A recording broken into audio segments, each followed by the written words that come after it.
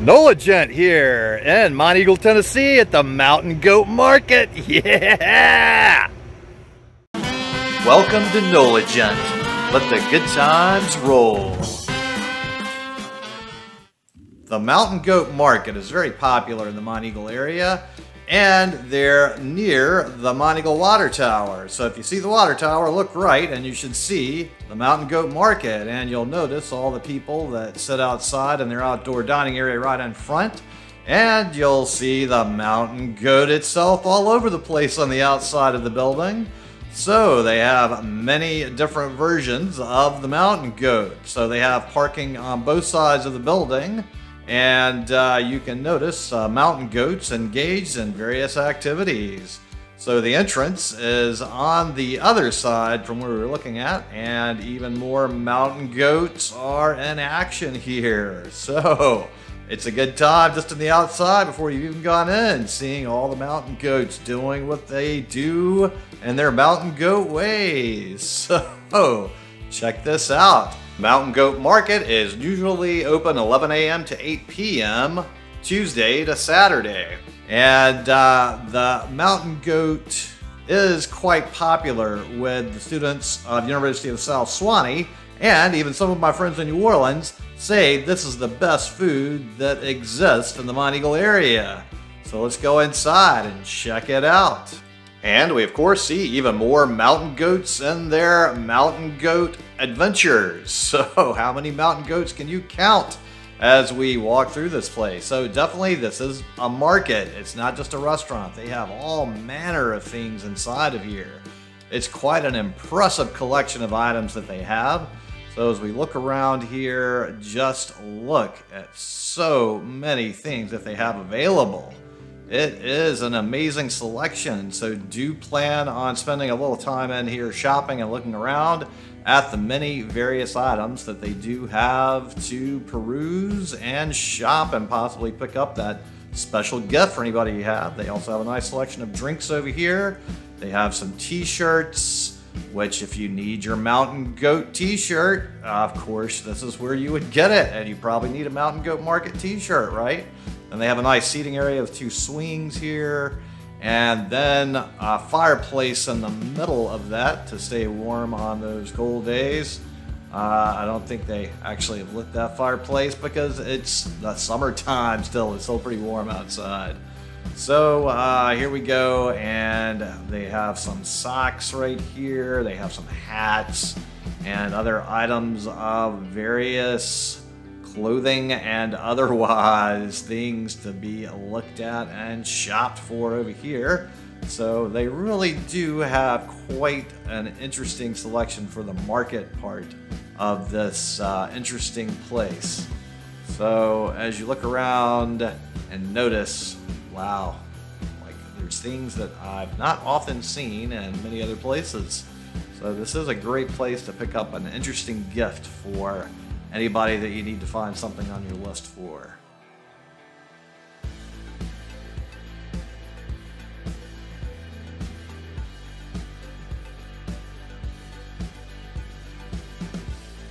Some plastic fruits and vegetables, I guess. I'm not quite sure if these are toys or what they are. If you know what these are, comment below.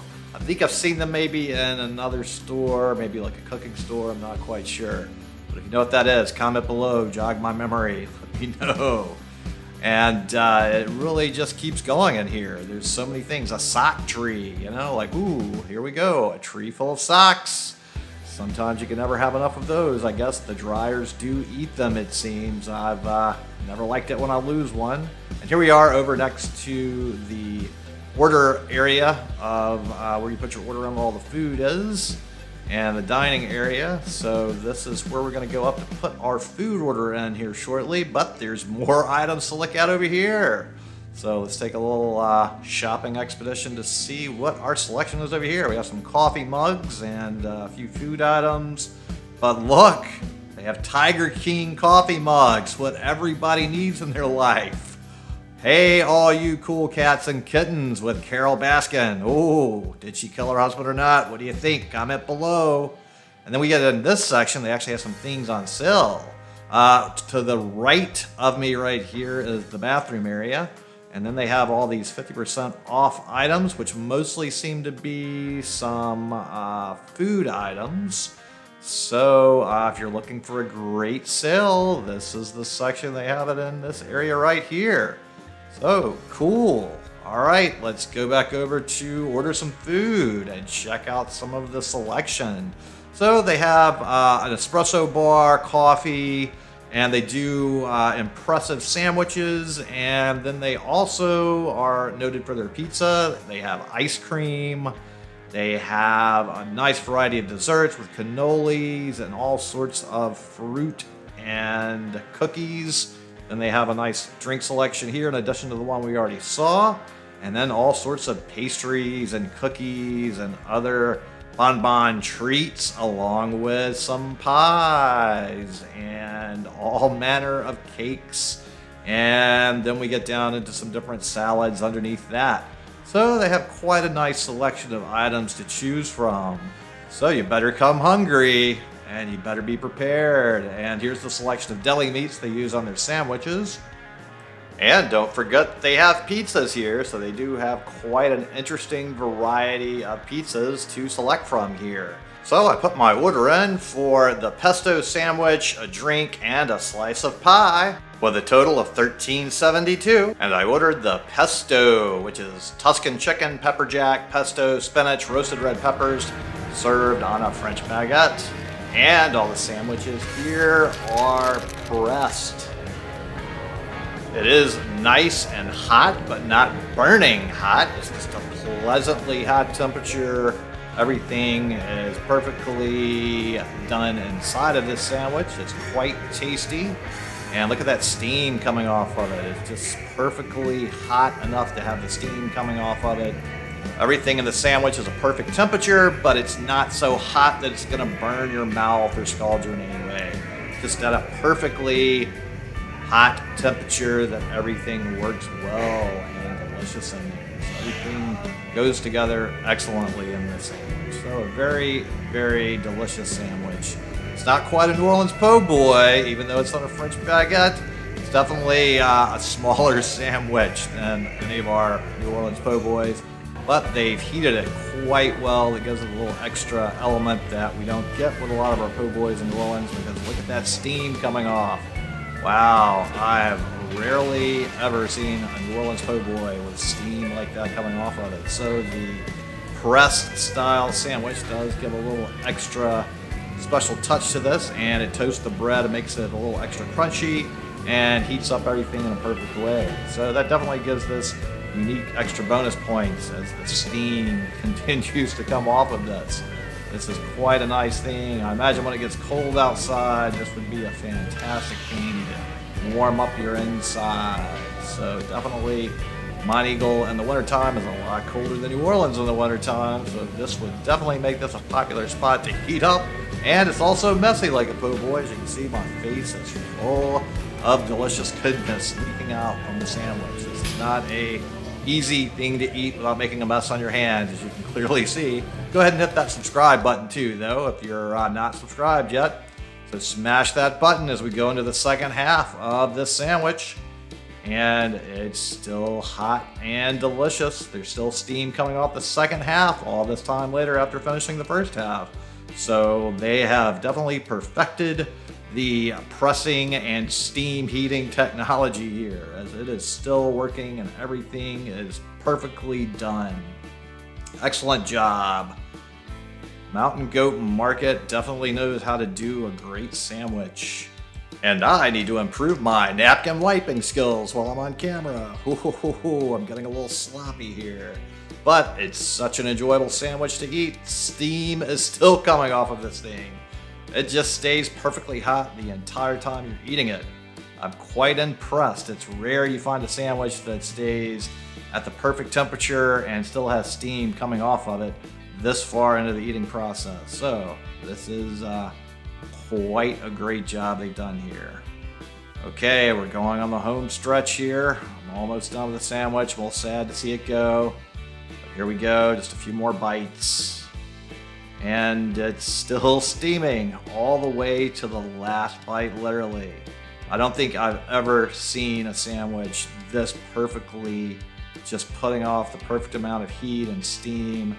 Everything has certainly been perfected with their sandwich technology here.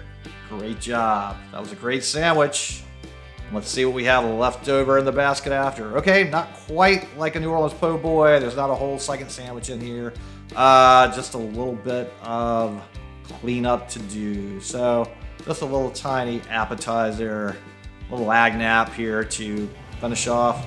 And uh, one last bite, a little cheese, tomato, and spinach, and uh, finish it off for the sandwich. So, mission accomplished. And now it's time to move on to the pie. I got this delicious looking key lime pie and I'm anxious to see how it tastes. It looks fantastic. It smells quite fantastic. So let's dig in.